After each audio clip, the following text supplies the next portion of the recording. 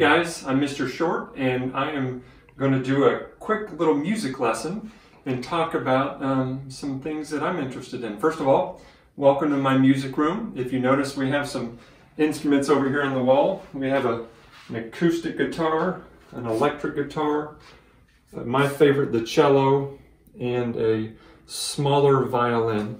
Now in the corner we have a piano and it's a typical upright piano that you might see in a lot of homes, but I'm going to do a little thing to show you the inside of a piano.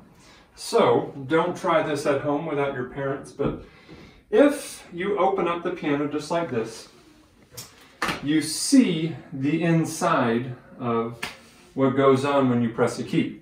So for instance, if you watch me press one of these white keys,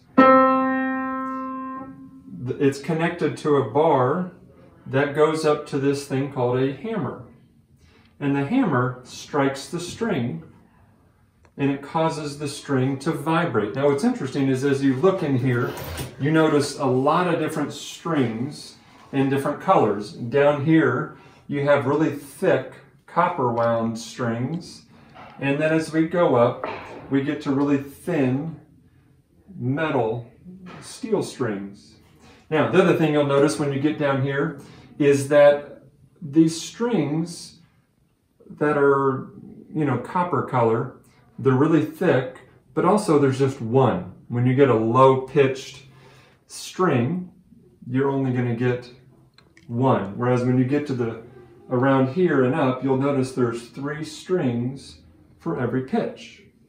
So every time you were to hit one of these keys, it would cause this hammer to hit this string, but you're not hitting one string, you're hitting three. Now, another thing is if you were to play the key on the far left side of the piano, which is this real long copper string, that would be your low pitch. Also, since that's a low pitch, that string would be the longest string, because we talked about the longer the string, the lower the pitch. And if that's true, up here, the highest sounding string that has the highest pitch also has the shortest string. So the long pitches are on, on the low pitch, has, has the long string. The real short string have the high pitch and it gets shorter, or it gets longer as we go to the bottom. Now, a couple more things that we'll notice if we look inside the key. So come closer and see if we can look inside.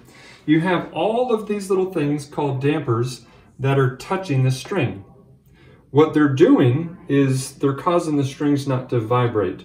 When I press one key, it causes that hammer to strike that string, but at the same time, the damper comes off of the string. Only that string is vibrating. When you let go of the key, the damper goes back. So let me try another one. Only that string is vibrating and the damper is off so the string can vibrate. When I let go, the damper goes off. Now, what's interesting about pianos is if you look down here, I have three pedals. One pedal, the damper pedal, if I press it on the far right, you'll notice that all of the dampers inside, so I'm close, all of the dampers move. So right now they're all touching. I press the pedal, all the dampers come off. So if I were to play a note and pull the damper pedal, now that note will not, I'm not touching anything other than the pedal and that damper will cause that sound to vibrate. So if I wanted to play a lot of them, and now all of those notes can vibrate until I take my foot off the pedal. Now the one in the middle, the pedal in the middle, only activates these dampers on the lower strings of the piano. And the one on the far left,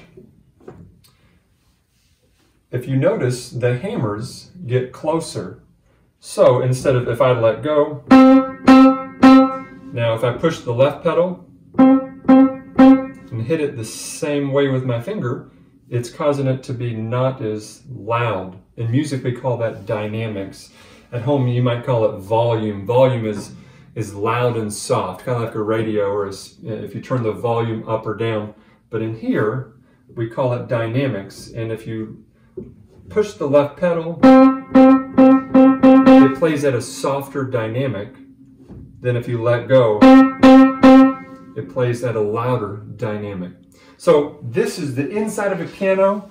If you have one at home and your parents let you, open it up, take a look. You'll get to see what I'm talking about. But I just wanted to show you a couple minutes of inside my piano. Hope you're staying safe. Enjoy.